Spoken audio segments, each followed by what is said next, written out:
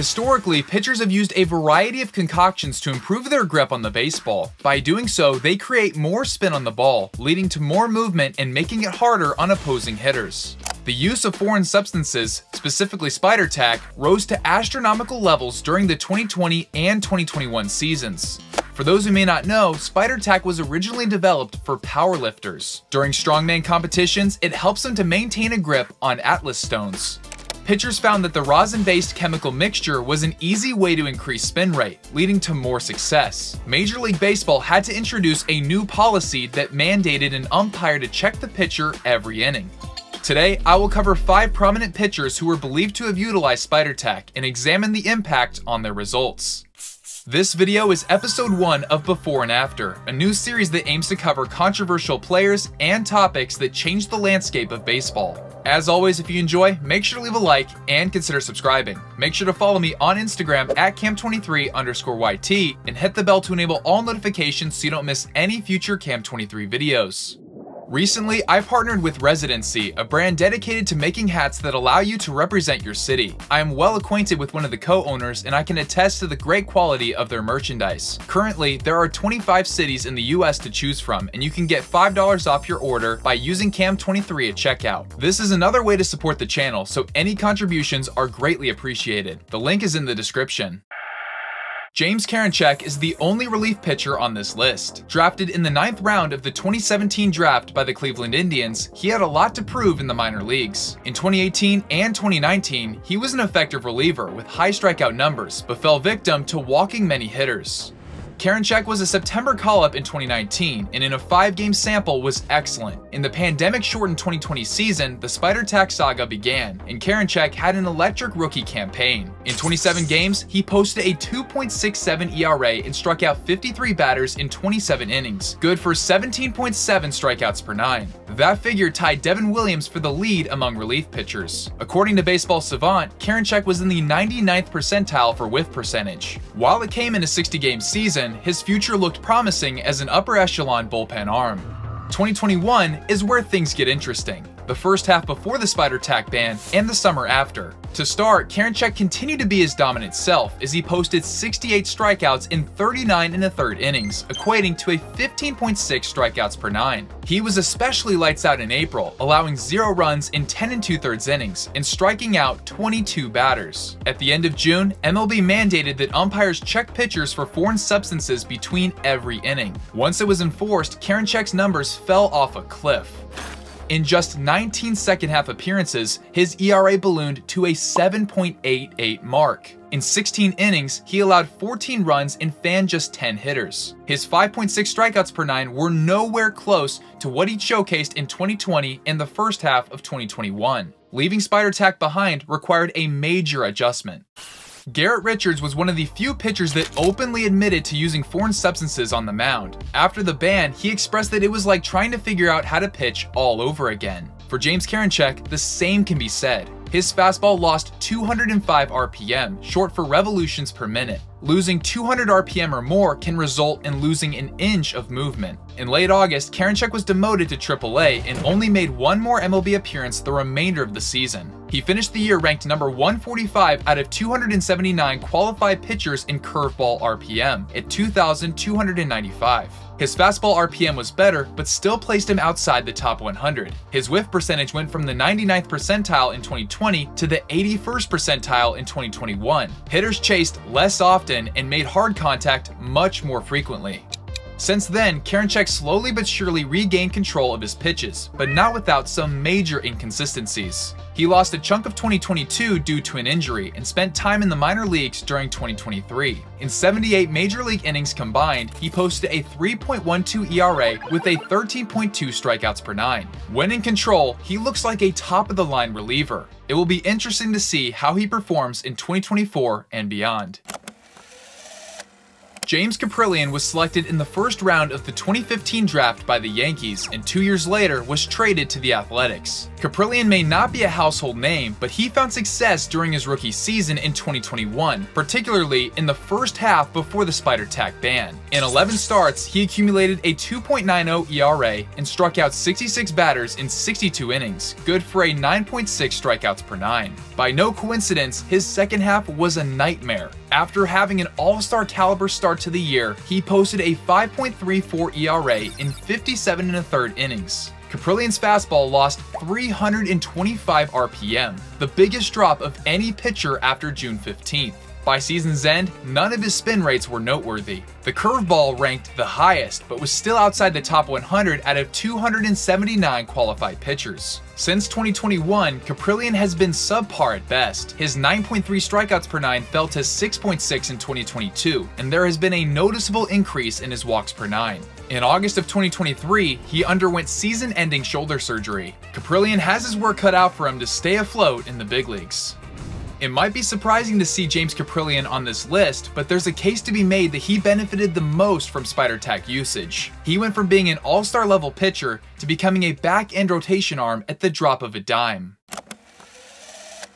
Gerrit Cole was the number one overall draft pick in 2011. He spent five seasons with the Pirates and showed flashes of brilliance. After getting traded to the Houston Astros, he transformed into an ace pitcher. In 2018, Cole led the league with 12.4 strikeouts per nine. During this season, Trevor Bauer claimed that a majority of pitchers across the league were using sticky substances to enhance their abilities. More specifically, he called out the Astros pitching staff for a rapid improvement in spin rates. Cole was a prime example, as his fastball averaged 2,164 RPM in 2017 compared to 2,379 RPM in 2018. As we'll discuss later, Cole's RPM in Houston was better than in the Spider Tack years.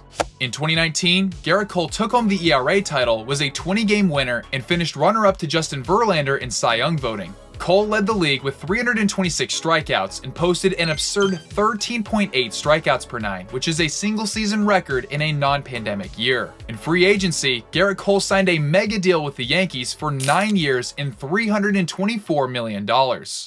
In 2020, he regressed in several aspects, but was still a top 5 pitcher in the league. He posted a 2.84 ERA and threw two complete games, with one being a shutout. He struck out 11.6 batters per 9 innings, and finished 4th in Cy Young voting. There's video evidence that shows Cole's fingers sticking to his hat while reaching to grab Spider Tack. However, when asked by a reporter if he used it, Gerrit tiptoed around the question. Quote, I don't quite know how to answer that. Cole is an enigma considering that in a year where he was using Spider Tack, his strikeout numbers dropped. By comparing Cole's spin rates in 2019 and 2020, it becomes evident that every one of his pitches had a lower spin rate in 2020, especially his curveball, which lost almost 100 RPM. On paper, Gerrit Cole did not see any improvement from using Spider Tack in 2020.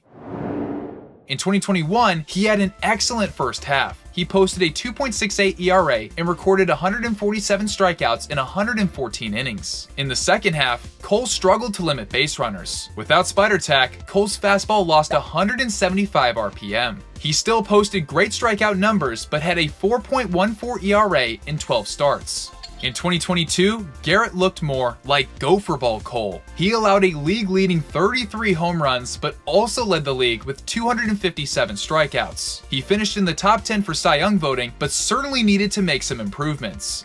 In 2023, Cole struck out 9.6 batters per 9 innings, his lowest total since 2017 with Pittsburgh. However, he was still dominant and led the league in several noteworthy categories, including ERA, starts, shutouts, innings, ERA+, whip, and hits per 9. Gerrit won his first Young Award, making it clear that he can dominate without Spider Tack.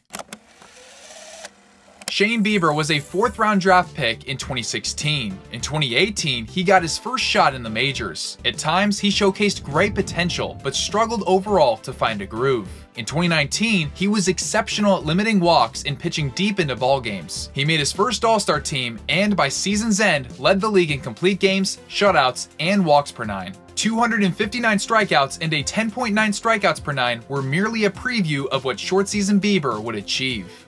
During 2020, he limited base runners and racked up strikeouts at a historic rate. He led the league in wins, ERA, strikeouts, ERA+, FIP, hits per 9, and Ks per 9. Bieber's 1.63 ERA won him an ERA title. If you count the pandemic year, his 14.2 strikeouts per nine are the highest of any starting pitcher in a single season all time. He took home the American League Cy Young Award. The secret formula for Shane was a massive increase in RPM on his pitches. His fastball, cutter, and slider all increased by 100 or more RPM compared to 2019. His cutter went from irrelevant to ranking 21st out of 301 qualified pitchers in a year's time. In 2021, he made 14 first half starts and posted a stellar 12.9 strikeouts per nine. His 3.28 ERA was more in line with his career average. Bieber made just two starts for the rest of the year after suffering a shoulder strain that coincided with the new foreign substances policy. In 2022, he tossed 200 innings. His 12.5 strikeouts per nine in 2021 fell to 8.9 in 2022. He was still effective, recording a 2.88 ERA, but there was cause for concern. After the crackdown on foreign substances, Shane's RPM dropped by at least 100 on every one of his pitches. His fastball was 3 miles per hour slower in 2022 than it was in 2020. However, that has more to do with lingering effects of injury. In 2023, Shane missed a significant portion of the season due to right elbow inflammation.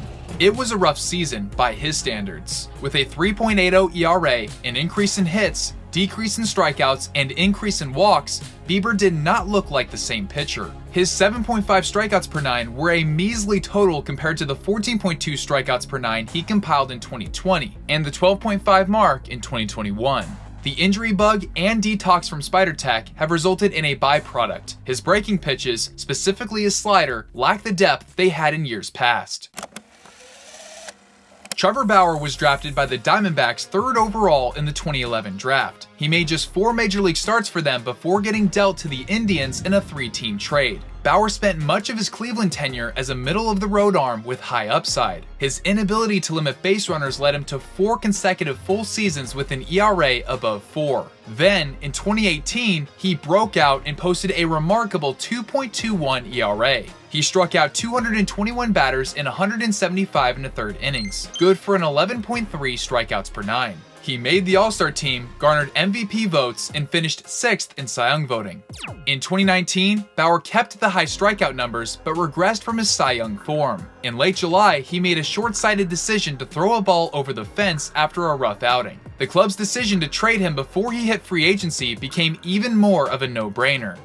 After getting traded to the Reds, he struggled to keep the ball in the yard, allowing nearly two home runs per nine innings. He posted a 6.39 ERA in 10 starts the remainder of the season. He collected a 4.48 ERA between Cleveland and Cincinnati in 2019. However, the spin rates on his cutter and sweeper were especially impressive. Out of 278 qualified pitchers, he ranked 7th for his cutter and 5th for his sweeper. For future reference, his fastball ranked 48th at 2,412 RPM.